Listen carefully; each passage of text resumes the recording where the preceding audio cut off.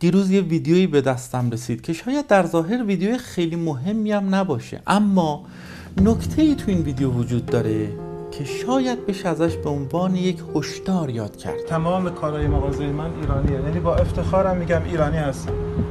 ولی متاسفانه هیچ کس از ما حمایت نمی‌کنه. پاساژ ما اینجا نابود شده. این مغازه ناول سه, تا خانواده است. من بیمه بچه ما نتونستم رد کنم. پسر من ناراحتی قلبی داره. الان چند ماه از بیمش رد شده. میگن از کالا ایرانی حمایت کنید. آقا چه حمایتی؟ کی از ما حمایت می‌کنن هیچ نه فروشی داریم نه کاسبی داریم. اما اون نکته چیه؟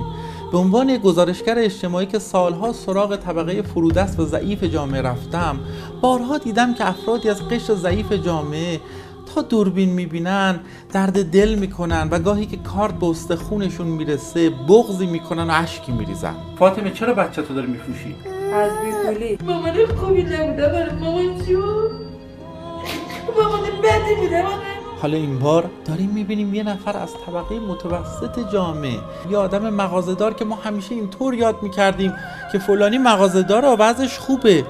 یه مغازهدار شرایط براش انقدر به تنگ اومده که میاد جلوی دوربین گله می‌کنه بغض می‌کنه و گریه می‌کنه. این یک معنی بیشتر نداره.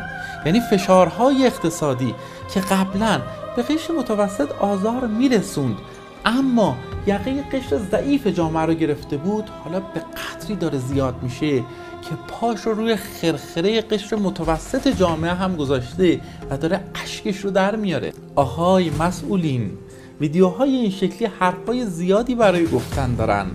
به شرطی که چشمی برای دیدن و گوشی برای شنیدن وجود داشته باشه.